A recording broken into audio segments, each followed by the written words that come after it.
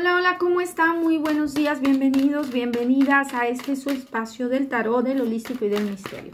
Vamos con el signo de Leo, ¿ok? Vamos a ver, Leo, cómo te va en el mes de marzo 2024. Y vamos a ver, mi querido Leo, la lectura general para ti para este mes. Wow, Leo, muy positivo, ¿eh? muy alegre, muy positivo. El mes de marzo pues trae de verdad muchas aventuras para ti. Leo empieza a, ¿cómo se dice? A discernir, a alejarse de gente, de gente problemática, de gente que no lo valora, no la valora, Comenzamos a ver un Leo súper sarcástico también, burlón, a reírme mucho y autorreírme también. No solo decir, ay, sí, que él tiene la culpa, que ella tiene la culpa. Me río también de mí. Qué tonto fui, qué tonta fui, jajajiji. Y, y de verdad que vemos un Leo muy positivo. Hay mucha correspondencia, hay propuestas. Vamos a ver, pueden ser propuestas amorosas, pueden ser propuestas de trabajo hay muchas propuestas y hay momentos felices para el signo de Leo. ¡Wow! Iniciamos muy, pero muy bien la lectura para el mes de marzo.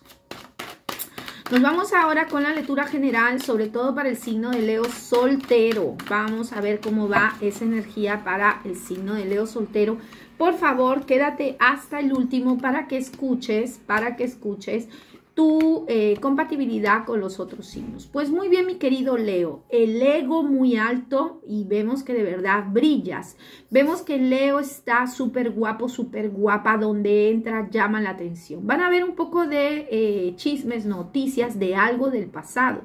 Algo del pasado que no funcionó vuelve el mes de marzo. Quizás una persona que dice, ay, no, quiero volver contigo, quiero recuperarte o quiero ser amigo. Absolutamente no leo porque también esta carta representa puertas nuevas que se abren, o sea, gente nueva que entra a tu vida y gente que de verdad puedes confiar, gente que puede ser tu bastón, relaciones que más adelante podrían ser tu bastón.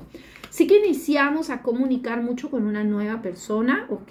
La, te veo ahí comunicando, hablando, dándote un poquito. Y esta carta sí que eh, nos habla un poco de hacerte el humilde y me sorprende, porque por un lado sí que vas a estar físicamente en forma radiante, precioso, pero con esta persona quieres demostrarle un poco lo que realmente eres, humilde, tranquilo, sociable, cariñoso, que valoras mucho a la gente que te es leal y perfecto. No vuelvas con el pasado. Esta es una carta que habla mucho que en el pasado no funcionó, que en el pasado no lucharon por ti, no des una oportunidad al pasado. Exacto, el pasado está muerto. No deberías revivir muertos ni siquiera comunicándote con ellos, ¿ok? Una advertencia para el signo de Leo soltero. Nos vamos inmediatamente, nos vamos inmediatamente a ver cuál es el consejo para ti. Efectivamente, no pensar ni siquiera en algo o en alguien que te dio inestabilidad, que te dio mentiras, que jugó con tu corazón. Nos habla claramente con la reina de bastos, pues está hablando un poco de tu signo al femenino, ¿no? Eres una persona sensible, eres una persona buena, pero fuerte. Tienes un fuego interior muy fuerte, brillas Concéntrate en lo que eres, valórate. Te ha costado volver a ponerte en pie. Así que mi querido Leo, ya lo sabes, ya sabes la advertencia que te está cayendo. Ahora vamos con Leo que tiene relaciones estables. Vamos con Leo con relaciones estables. Y vamos a ver, Leo, relaciones estables. Cuando hablo de relaciones estables, estoy hablando de eh, personas que están casadas, que están de novios o que tienen pues un matrimonio, convivencia, matrimonio. Perfecto. Mira, de verdad que tenemos que, aquí sí que necesitamos salir un poquito, necesitamos vida social. Es como si Leo estuviera muy concentrado en su vida social, en llamar a los amigos, en hablar con los amigos, en su familia, y como que no estamos trabajando en el amor, ¿ok? Eso no quiere decir que no querramos a la pareja, que la pareja no nos importa, pero de repente el mes de marzo pues estamos descuidando ese aspecto, ¿sí?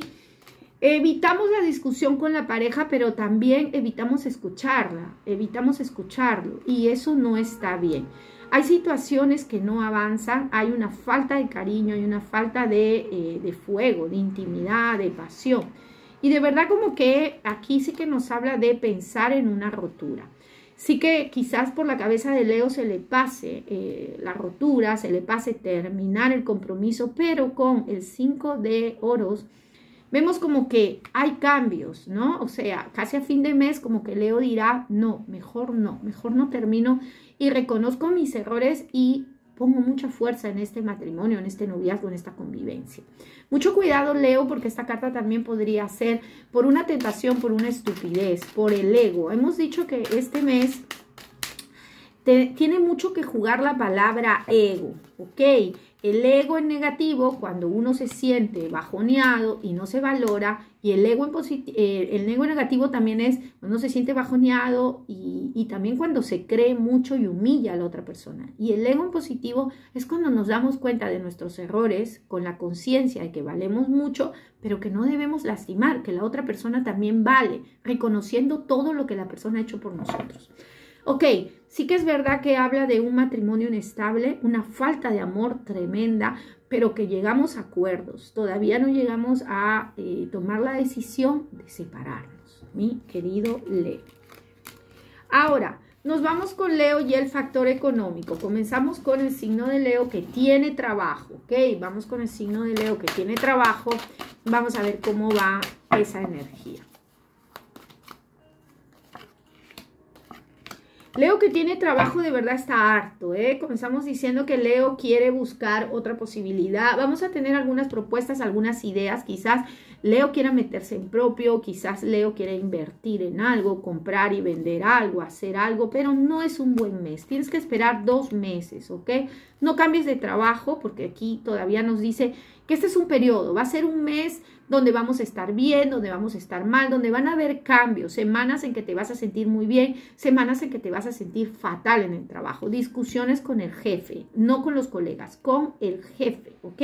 Y esta discusión, esta llamada de atención de repente hace que nazca el deseo de irme, quiero irme de este trabajo, estoy harta de este trabajo, porque, como hemos dicho, puede afectar un poquito a la vanidad de Leo. Será solo momentáneo, eres apreciada, trabajas muy bien, Así que no te la tomes tan a pecho, ¿ok?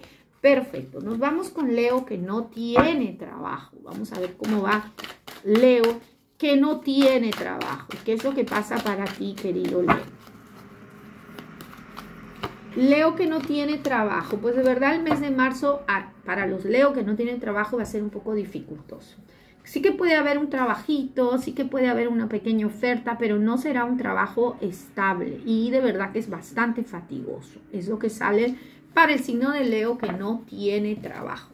Nos vamos ahora con Leo, con Leo y los signos más compatibles para ti. Y luego nos vamos con el oráculo, ¿sí? Para que tengas la lectura completa. Vamos con Leo los signos más compatibles para el signo de Leo.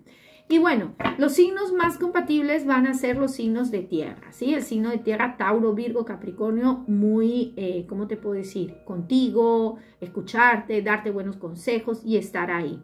Los signos menos compatibles, pues tenemos aquí eh, dos. Comenzamos con el rey de bastos, ¿sí? Sobre todo la gente joven de Aries, Sagitario y tu misma gente, Leo, ¿ok?